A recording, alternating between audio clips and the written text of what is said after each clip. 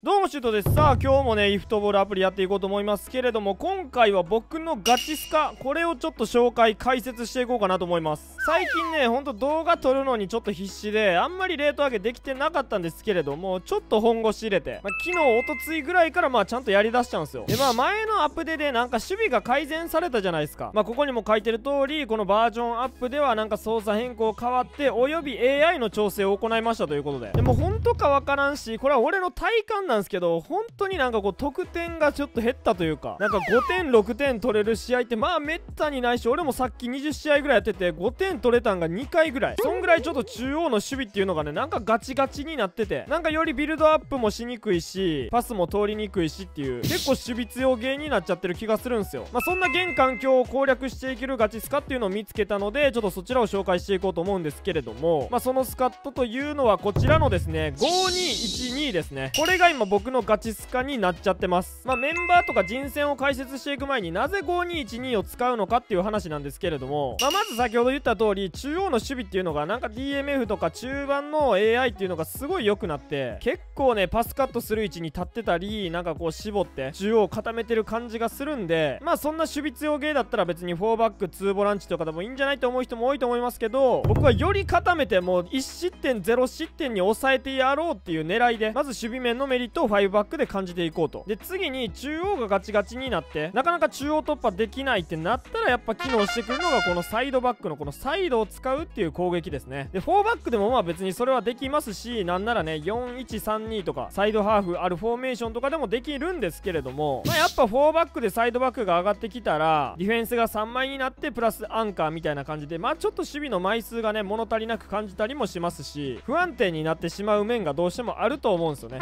も5バックいることによって右が上がってても左は結構絞って4バック築いて中盤もしっかりいてくれてそんなにカウンターもやられないっていう形を取れるのでまあ個人的にはやっぱサイドをうまく使っていくならば5バックの方がいいんじゃないかなと思います。でまあ CMF が上がれる時はこのフォーメーションはね結構 CMF がこうサイドに広がって突破してくれる抜け出してくれるっていう場面もあるんでまあ中央突破難しい現環境でも結構攻撃はスムーズにできるんじゃないかなと思います。でまあ正直に言うと4312とか4222 2の方がまあ得点力って意味ではやっぱりあるかな。まあ守備よりも得点力で上回りたいってなったらそっちの方が個人的にはいいと思いますけれどもやっぱレート上げとかディビジョン1つでも上に行きたいもっともっとディビジョン上げたいってなったらやっぱり勝利っていうのが必要なんで、まあ、失点が減ればおのずと勝率も上がってくるんじゃないかなと、まあ、そういった面でも今はやっぱ5212が一番安定してんじゃないかなと思いますね。でまあメンツに関してはもうセンターバックとかゴールキーパーに関してはもう好きな選手を使ってくださいっていつも言ってる通り本当好きな選手でよくてサイドバックですね。まあここは守備的サイドバックは別に使わなくていいかな。まあ足速くてスタミナあってパスうまい。ドリブルもまあそこそこできるみたいな選手を置けばいいんじゃないかなと。でこの CMF に関してももう攻撃的な選手でいいですね。ビエラとかカンテとかも試しましたけどまあ上がった時にペドリとピルロっていうのはやっぱオフェンス能力がすごい高いんでまあパスもドリブルもめちゃくちゃできるんですよ。そういったことを考えたらこの2人がベストなんじゃないかなと。まあ替えで言ったら最近僕が推してるラファエル・ゲレイロっていうのはもうこの位置めちゃくちゃ務まると思いますしまああとは若干ナンバー10が気になりますけれどもフリットとかもねこの位置すごい強いと思うんでまあいろんな選手試してみて自分が合うなっていう選手を使うのが一番だとは思いますが個人的にはこの2人はおすすめします。でまあ OMF に昨日紹介したルンメニゲまあここに関してはぶっちゃけね前線 CFCF だとなんかね OMF この真ん中抜け出していくシーンが少ないように感じてなんかこうメッシを ST にしてここに置いてあげて CFST で組んだ方がなんかここの抜け出しっていうのはしてくれると思うんでまあその時にルンメニゲは使うのがいいんじゃないかなと。まあこんな感じでイブラムバッペみたいな時は、まあ、正直ちょっと今ベンチカツカツなんで入れれてないですけどロナウジーニョとかの方がねなんかパスとかも供給できるし扱いやすさ的にもやっぱボディコンの高さがねルンメニゲないんで。まあプレイスタイルで言えば2列目からの飛び出しの選手がここは一番いいと思います。まあロナウジーニョはちゃんめなんですが、まあ、他で言えばこのジエリニスキーとかねめちゃくちゃ強いんでまあこの選手も試してみてほしいかな。まああとマウントもいいですね。で次 CF にイブラとムバッペなんですけれどもまあムバッペのところはまあロマーリオと調子次第。まあメッシもそうかな。メッシとロマーリオと調子次第でなんか誰かを入れるって感じで。正直ここは固定ではないんですけどやっぱイブラ入れてから めちゃくちゃ安定しましたね。まあもう今はね獲得できないんですけれどもまあ無料指名権で取った方も多いんじゃないでしょうか。まあプレイスタイルターゲットマンなんですけれどもなんかめっちゃ裏抜けするしほんでね別にスピシュンこんだけ低いんですよ。6865とめっちゃ低いのにもかかわらずめっちゃ抜け出し早いし。でまあそっからフィジコンは強いんで相手センターバックに体を入れられることなくももうフィニッシュまで行っちゃいます。それでいてやっぱサイドバック使うってなったら最後上げたいのはクロスですよね。ってなったらイブラみたいな選手が中央にいてくれることによってそこにめがけてクロス上げれば点取ってくれるっていうシーンもあるのでまあそういう使い方もできますよね。まあなんか今作は本当にプレイスタイルがあんまり関係ないというかまあ僕はショートカウンター使ってますけれどもショートカウンター使ってたら全員ほぼ抜け出すしなんかプレイスタイルによる違いっていうのはまあ OMF で2列目からの飛び出し使ってたら若干感じますけどそれ以外はね本当にラインブレーカーもターゲットマンもなんか似たような感じするんであんまこだわらなくていいんすかね。能力値重視でいいんじゃないかな。でもスピシュン遅いイブラでも抜け出すからなんかようわかんないですね。でまあベンチはこんな感じでまあスーパーサブ入れるってなったら、まあ、このジェズスとダニオルモはもう確定で入れてあとはなんかこう調子次第でスタメンじゃない選手をこの辺からピックアップして入れるって感じですかね。まあ正直メンバーっていうよりもこのスカットのもう5212っていうのが現環境にはまってると思うんでまあ1試合だけやっていきながらねねちょっと見てもらおうかなと思います。では試合やっていきましょう。調子の方はおおちょっとなんか普通が多いな。じゃあこういう時はロマーリオさんとか入れてまあメッシも好調なんで OMF 入れて。まあこういうところもいいですよね。メッシはやっぱ両方使えるからね。まあクライフもそうか。じゃあこんな感じでお相手さんのスカットはこんな感じですね。まあこのスカット見た感じ正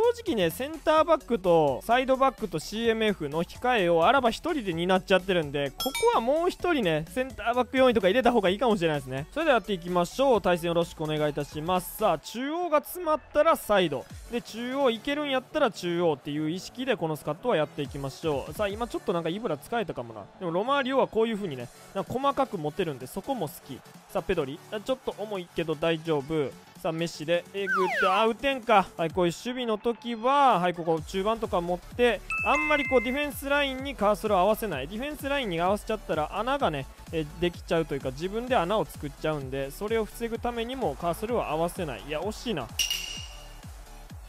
ではいこういうとこ CMF で。相手のビルドアップミスはもう狙いまくって OK だからこんな感じでね本当に1.14バージョンになってからめっちゃ守備がね引っかかるようになったんでまあ、そういうカウンター狙いっていうのも大事やと思う。イブラはちょっと通らないなでもこういうとこ守備しっかり集中して引っ掛けを狙う。あ今取れんかったか。まあ一応なんかね守備操作はスタンダードにしました。最初プレススタイルでやってたんやけどなんかマッチアップ押したいら押したらいいだけのマッチアップがちょっと魅力的に感じたんでこういうとことかね。押したらいいだけなんで。あぶね。あ入ったか。せっかくマッチアップかかって当たったのにね。まあまあまあしゃあないでしょう。でまあ今32分で引き分けですけれどもまあ前半はねぶっちゃけなんか引き分けでいいかなというかもうなんか後半にやっぱ勝負仕掛けに行くというかうん、こ決めに行く？ああナイスキーパー。相手のディフェンスラインが疲れてきたところにスーパーサブ入れてね。えそこでその元気ビンビンな選手でその疲れてる相手をえ突きに行くっていうのがいいと思うんで、まあ、前半はおパスミス、まあ、前半はそんな取れんくてもそんな悲観するほどのことでもないかなと。さあメッシで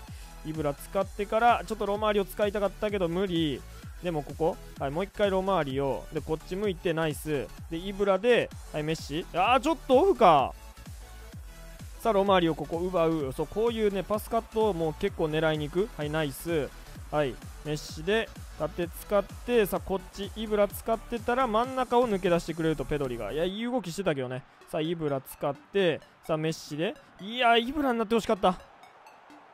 でもこういうとこ引っかかるんよね。ほらもうこういうゲームになっちゃってるから。はい、ロマーリオ。あー、ちょっとちょちょちょちょちょちょ。ちょっとこのコーナー終わったらスーパーサブ入れますかね。さあ、ペドリで、はい、インパクトクロスでイブラ狙って、はい、余裕。まあね、認めたくはないですけどね、これが今一番強いんで、やっぱ積極的に狙っていった方がいいよ。まあ、中央攻撃にこだわるのもいいですけどね。まあ、やっぱご思考を柔軟にして今一番強い攻め方をするっていうのが、まあ、最高の猛者なんじゃないでしょうか。さあムバッペ、ジェズス、ダニオルも入れてきました。さあこの3人がどう活躍してくれるか。まあでもね僕もスーパーサブで相手のディフェンスつこうとしてますけれどもお相手さんもその考えは一緒なんでね。自分の守備もちょっとね警戒しながらやっていきましょう。さあムバッペため作ってダニオルも。ああ通らんか。